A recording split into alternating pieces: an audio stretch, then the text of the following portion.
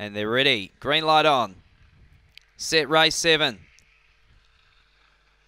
Racing, pinging out, wide out, Ace Cruising comes across, mustering speed is Costly Girl and Tango Dances right with them, but crossing over and leading Ace Cruising. Wider out, pressing on JL Magic. Further back was Flash Tastic, Easy Dollars out the back. Cara keeping Daisy Eyes down the straight, Mad Charge. Costly Girl got through, wins. Second over was Ace Cruising, JL Magic. Just behind those, Tango Dancer, Easy Dollars, Cara keeping. And out the back was Daisy Eyes. Time 1761.